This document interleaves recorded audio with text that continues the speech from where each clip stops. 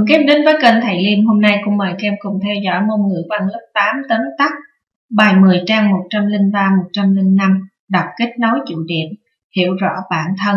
Thomas Armstrong Trải nghiệm cùng văn bản Làm sao bạn có thể hiểu được bản thân nếu chưa từng trăn trở về điều đó? Bạn hiểu rõ bản thân đến mức nào nếu bạn đang ở độ tuổi trưởng thành và sẽ thay đổi rất nhiều. Từ nhận thức là một cái quá trình luôn tiếp diễn, nhưng chính điều này làm cho nó trở nên thú vị.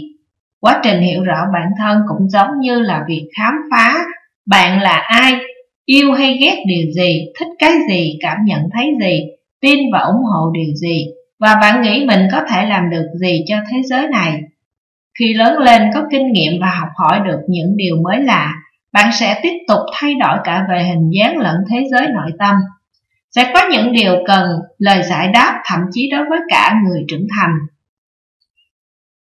Tự nhận thức bắt đầu với việc tự đánh giá và điều đó có nghĩa là bạn phải xem xét bản thân và cuộc sống của mình thật cẩn thận. Hãy tự hỏi những cái câu hỏi sau. Năng khiếu nổi bật nhất của bạn là gì? Điều gì tốt cho bạn, bạn có thể hoàn thiện những gì? Hy vọng và ước mơ của bạn là gì? Điều gì làm bạn hạnh phúc? Bạn thật sự muốn học điều gì? Mục tiêu hiện tại của bạn là gì? Mục tiêu tương lai của bạn là gì? Bạn đã học được những gì từ trải nghiệm của bản thân? Hiện tại bạn cảm thấy như thế nào? Tại sao lại như vậy? Ngoài những câu hỏi trên thì vẫn còn rất nhiều câu hỏi bạn có thể tự vấn Hãy xem xét những cái sự việc cụ thể hơn, ví dụ như quan hệ của bạn với bạn bè và gia đình, hay là mẫu người bạn muốn trở thành khi trưởng thành. Bạn có thể suy nghĩ về các câu hỏi và tìm câu trả lời, hoặc là viết ra trong cái lịch trình công việc hay là trong nhật ký của mình.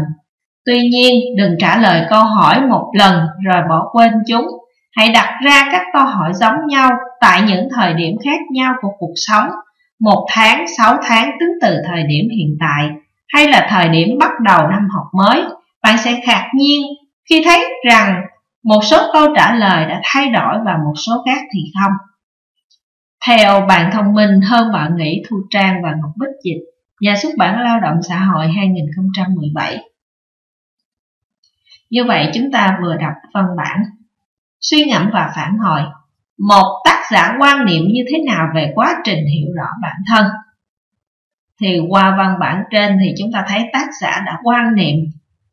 Giống như việc khám phá bạn là ai yêu hay ghét điều gì thích cái gì cảm nhận cái thấy gì? Tự tin và ủng hộ điều gì và bạn nghĩ mình có thể làm được gì cho thế giới này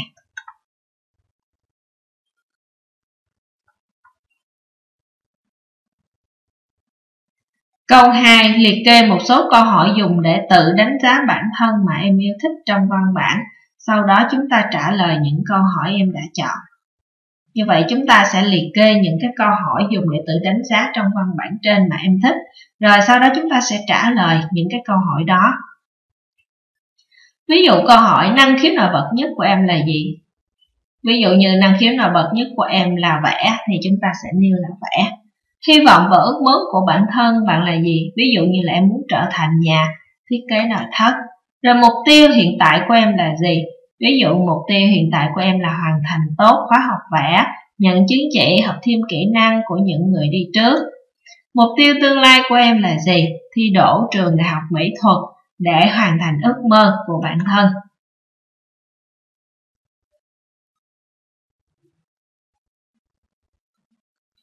Câu 3 em có đồng tình với lời khuyên của tác giả. Tuy nhiên đừng trả lời câu hỏi một lần rồi bỏ quên chúng. Hãy đặt ra các câu hỏi giống nhau tại những thời điểm khác nhau của cuộc sống. Một tháng, sáu tháng tính từ thời điểm hiện tại hay là thời điểm bắt học đầu năm học mới. Hãy lý giải câu trả lời của em.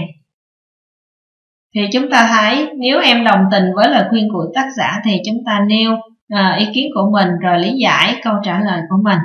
Thì ở đây cô ví dụ như là em đồng tình với lời khuyên của tác giả. Bởi lẽ ở mỗi thời điểm khác nhau thì mỗi chúng ta sẽ có những cái trải nghiệm khác nhau. Câu hỏi là giống nhau nhưng mỗi thời điểm sẽ cho chúng ta câu trả lời hoàn toàn khác nhau. Hãy luôn đặt những câu hỏi giống nhau ở từng thời điểm khác nhau để chúng ta thấy được sự thay đổi của chính bản thân mình để rồi thay đổi cho phù hợp, trưởng thành, thành công trong tương lai.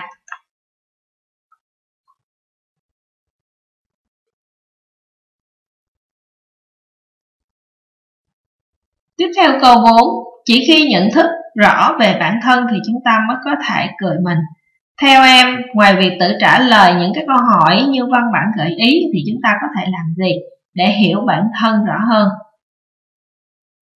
Thì ngoài việc tự trả lời những câu hỏi như văn bản gợi ý thì chúng ta có thể hỏi mọi người xung quanh về mình, xem thái độ và cảm nhận của mọi người xung quanh về chính bản thân mình hoặc là tham gia các câu lạc bộ, tham gia các lớp học khác nhau để hiểu rõ sở thích, niềm đam mê hay là điểm yếu của bản thân để hiểu bản thân rõ hơn.